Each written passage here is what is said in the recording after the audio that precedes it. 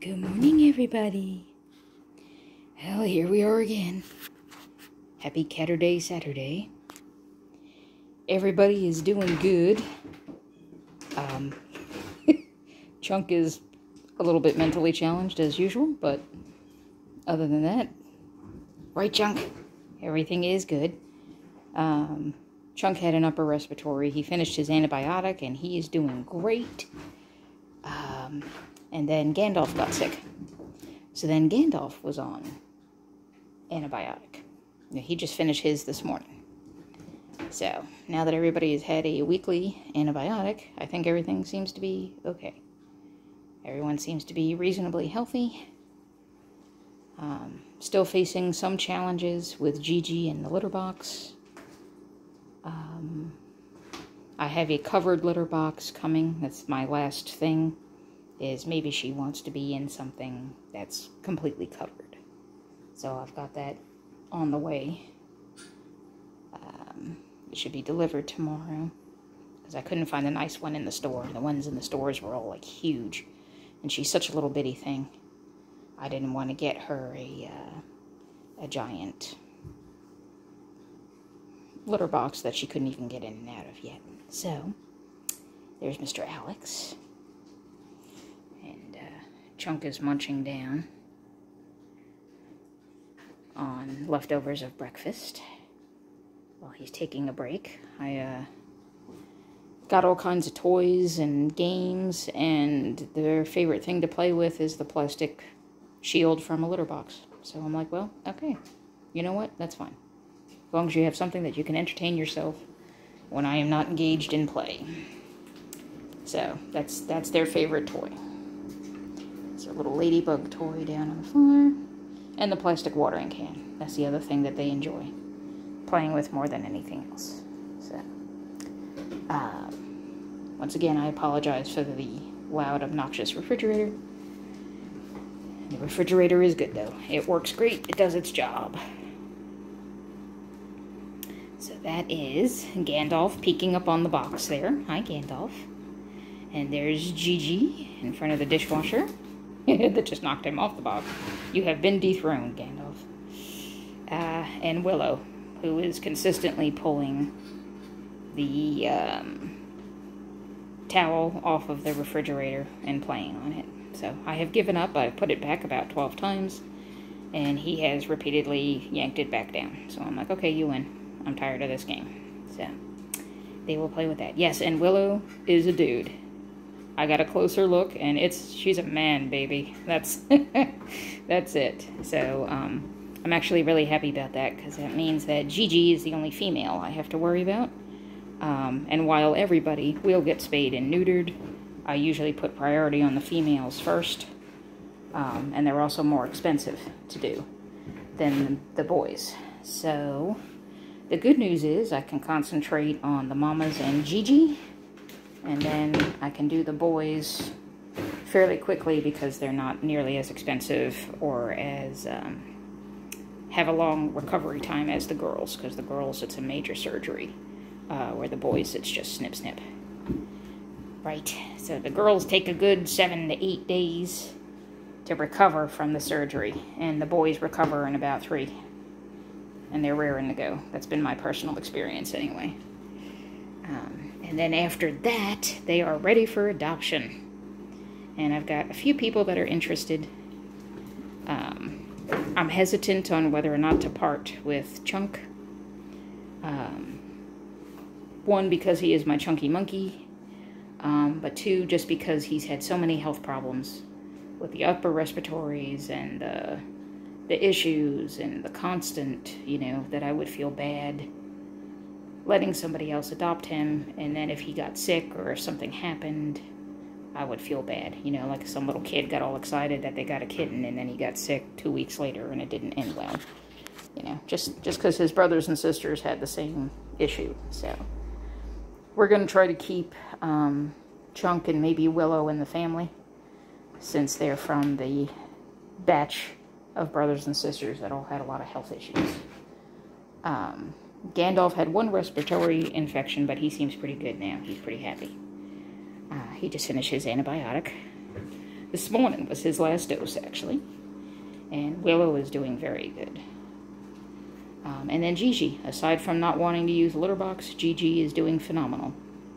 So uh, we're going to try the covered litter box. She did kind of like the pellets. I tried the pine pellets down there.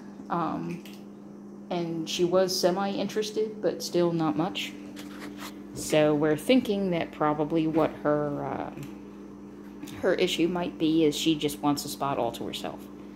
She doesn't want to use anything where everybody else's smells are, you know. And unfortunately, in a small household with 10 cats, getting a litter box all to yourself is not possible.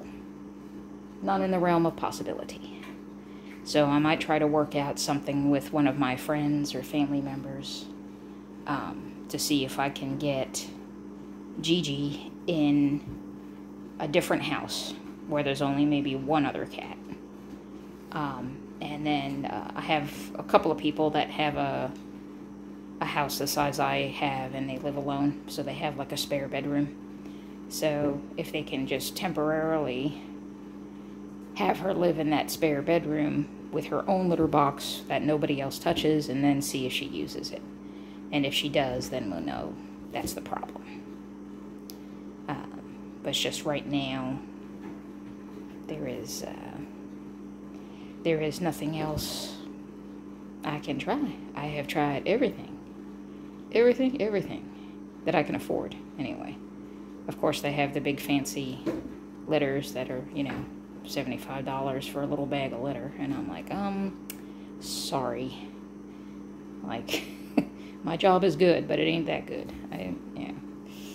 Not when you got 10 of them. If I had just the one, I wouldn't, you know, be so against spending a ton of money on one thing to see if it helps. And, uh, but unfortunately, when there's 10 that all need food and litter and attention, you're kind of limited on how you have to divide up your resources.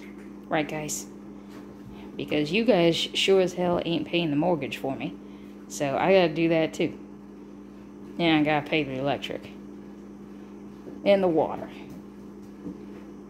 And I gotta clean. And I gotta take care of the yard.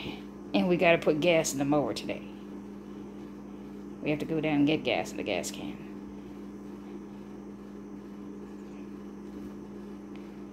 And fortunately, with the help of the guys from work, I was able to fix my mower because my mower stopped working. Bless you! Um, my mower had stopped working, and uh, I thought to myself, well, you know, it's about time for a new mower anyway, because I've had that mower about 13 years, and I bought it used. Back when I first moved into the house, I bought it off of one of my coworkers' husbands for a case of beer. So, it was a good price, right? Case of beer for a lawnmower, absolutely. And, um, it's a Toro, you know, so it's working really, you know, but if I think the year, if I remember right, looking on the back, you know, the little sticker that's underneath, it's barely legible, and I think the year was 2003. So it's pretty old. And I figured, well, okay, you know, I guess I've got to um, figure out something, you know, to, to do since it died. And I went to go get um, another mower, and I'm like, well, let me look for something that does the same thing that this thing could do. Um, and one of the least expensive ones I found was like $600. And I'm like, my car payment is not even $600. Like, you people are out of your mind for a lawnmower. It's just a lawnmower. You used to be able to go to the store and get a lawnmower for like $250. Now, 600 bucks now. So I'm like, okay, well, that's out of the realm of possibility, temporarily.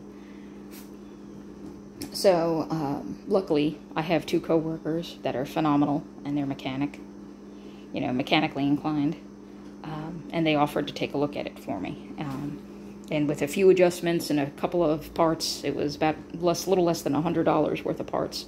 Um, the mower is alive again. it's alive. So, um, my yard is a jungle.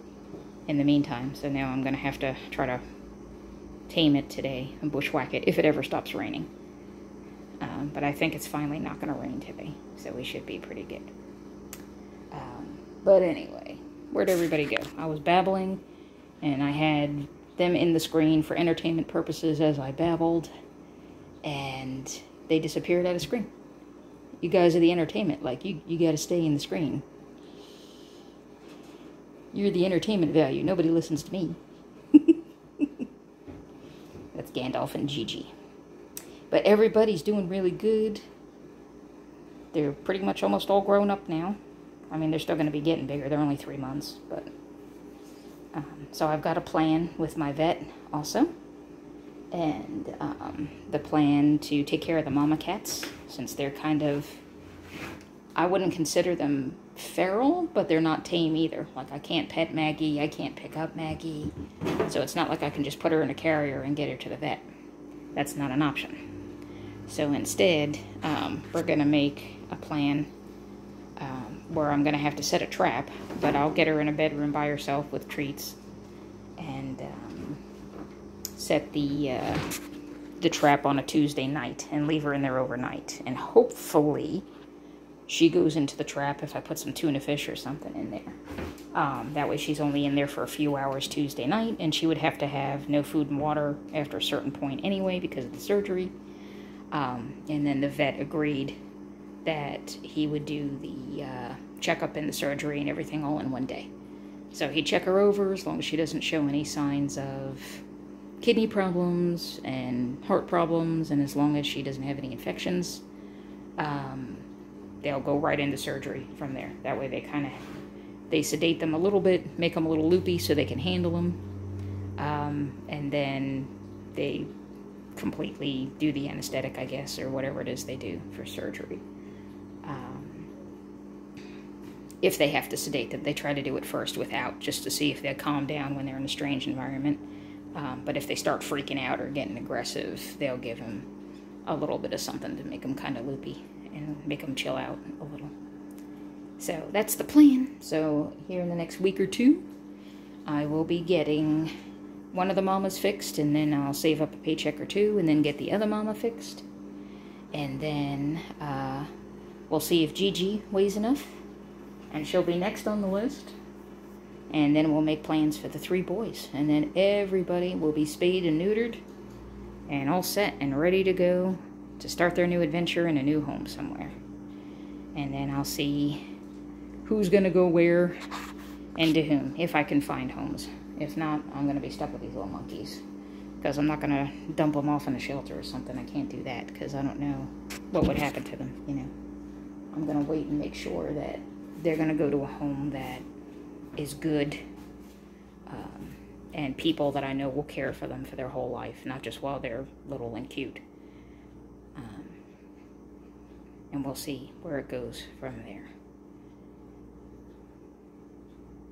And that's basically it. So I just wanted to give an update. Everybody's good. You see Sylvester's there.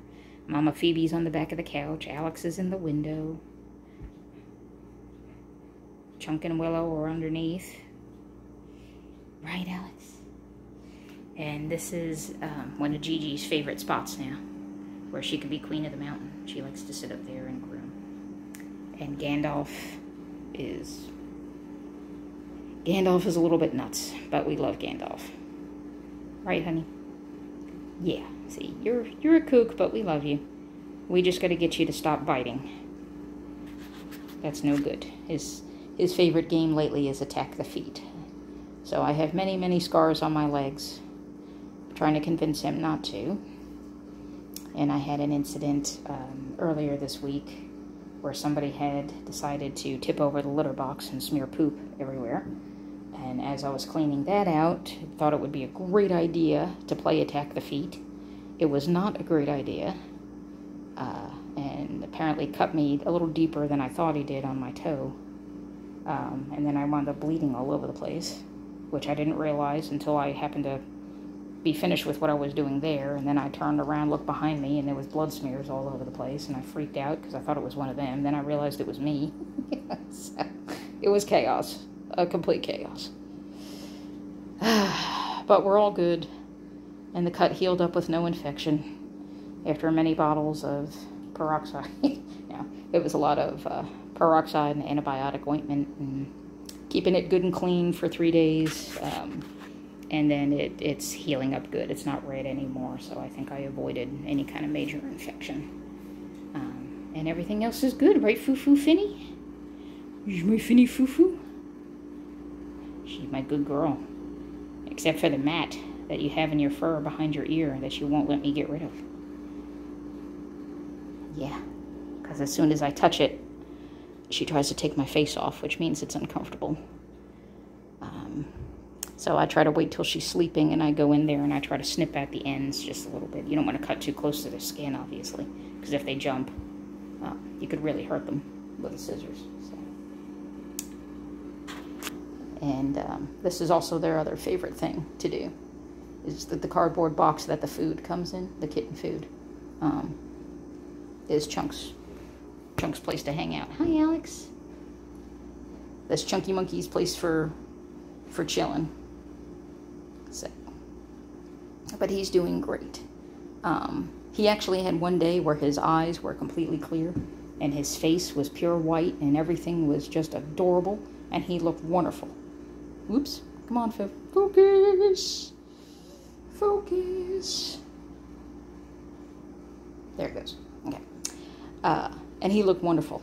His eyeballs were clear, his face was white and fluffy, and he looked so cute. And it lasted about, I don't know, two hours.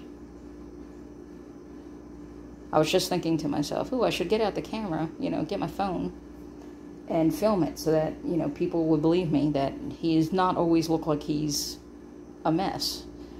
Um, and that lasted, you know, like I said, all of two hours. And then when he eats they play as they're eating, and then somebody will come and jump on his head and dunk his head in the food, and then he's got gravy in his face, and then I try to clean that off, and then he runs around, and then he sticks his head in dusty places, and then he starts sneezing, and then the next thing I know, his eyes are all screwed up again. So I'm like, you know. But I do clean it, I promise. Twice a day, or more, if I'm home.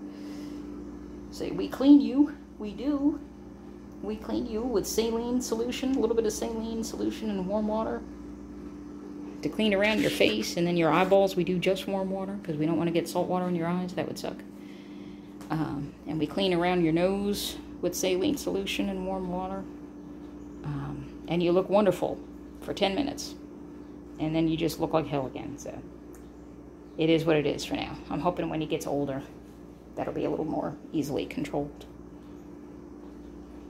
especially when you're not, you know, shoving your head in gravy. That, that makes things a little more awkward. But anyway. Okay. Well, I hope everybody has a good day. And everybody has a great weekend. Everybody be safe. Um, and take care. And hopefully uh, everybody gets a chance to have some fun while we have some nice weather. A little bit of a break of nice weather on the East Coast. Don't know how long it'll last, but we'll see. So, all right. We'll see you guys later. You going to say bye, Alex? Say bye-bye, Alex. Say bye. We'll talk to you guys later. Yeah? Yeah? Yeah. Okay. Bye-bye.